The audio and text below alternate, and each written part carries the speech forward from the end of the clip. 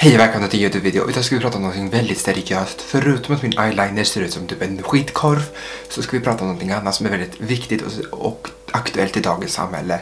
Ja, ja, jag är homosexuell och det är inte lätt att leva som homosexuell i dagens samhälle.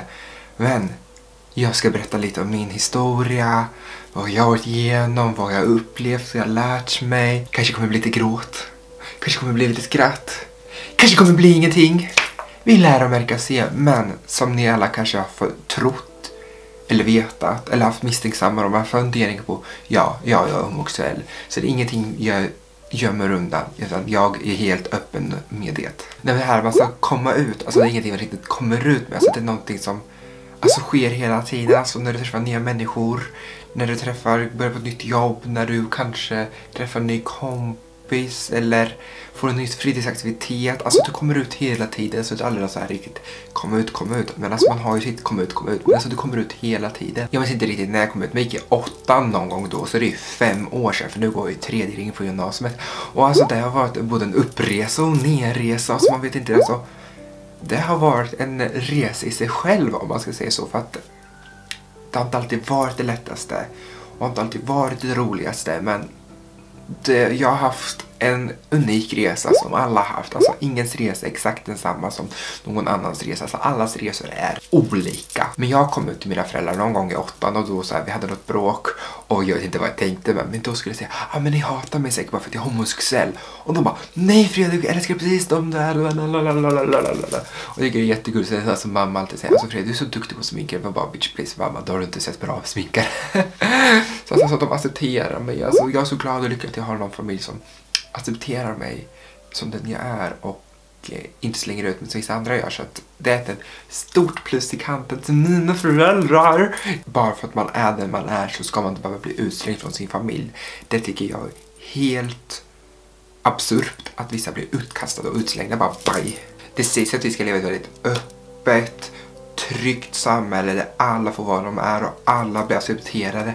Men alltså, dagens Sverige är ju bättre än det har varit men det finns mycket, mycket, mycket vi kan arbeta på. Till exempel som det här att man bara, ah, men varför behövs Pride? Varför finns inte hetero-Pride? Ja men har ni levt flera hundratusentals år, inte hundratusentals år, men har ni levt flera hundratals år och blivit nedtryckta, stenade till döds, mördade, hotade, misshandlade, levt i förtryckt för att ni är heterosexuella?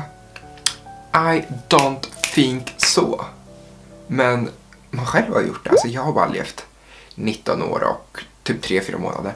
Men man har upplevt bög, jävla bög, jag vill gå och dö, bög, bög, bög, hora, slyna, oj. Fägot och kolla vad bög, alltså kolla alltså, vad sminkad, alltså varför tror han att han är? Alltså bög, alltså så. Man har hört allt möjligt. Alltså jag har aldrig fått några så här fysiska angrepp än. Förhoppningsvis aldrig. Det är en hård kamp när man inte har någon. Jag har en hård kamp, men jag har människor. Men de som inte har någon, alltså det blir en ännu hårdare och en ännu värre kamp. Alltså, för, alltså det är en sån hård kamp ni måste leva med när ni inte har någon. Ni kanske blir utslängd från era föräldrars hem. Vännerna stöttat undan er och bara... Ni får leva på, alltså, med er själva. Och alltså det är inte...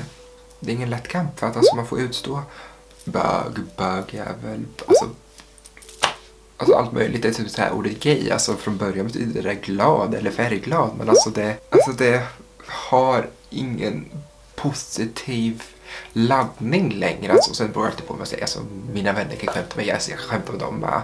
Och då kan de säga, ah, men du, alltså, du är bög. Alltså, jag säger ju alltid det här. Åh gud vad jag hatar alla bögar. Alltså, alla bögar är horor. Men det blir lite så här äh, komiskt och lite så här, alltså det går för att eftersom att man själv är det. Det är till exempel, jag kan ju inte skämta om mörkhyade likadant som mörkhyade kan skämta om sig själva. Så därför kan ju jag skämta mer om homosexuella än vad en heterosexuell kan göra för det är mer accepterat av mig att skämta om någonting för eftersom att jag själv är det. If you get my point. Men alltså jag är så lycklig över att jag vet inte hur det är alla överallt men just min kyrka och just i Norrköping det vi öppna, alltså vi brukar prata om alltså den här hbtq-armbandet som är så här pride, det gjorde vi i kyrkan en gång. Vi hade en präst som var lesbisk. Vi har en präst nu som har lite tankar om att han kan vara lite bi men alltså jag vet inte. Vi pratar alltid om, lä alltså visst det fanns två lärare, jag kommer inte ihåg namnet på dem, men alltså de, det finns öppet skrivet i Bibeln om deras sexuella relation, alltså deras homosexuella relationer. De kysstes och hade väl alla, allt möjligt bara för deras kärleks skull.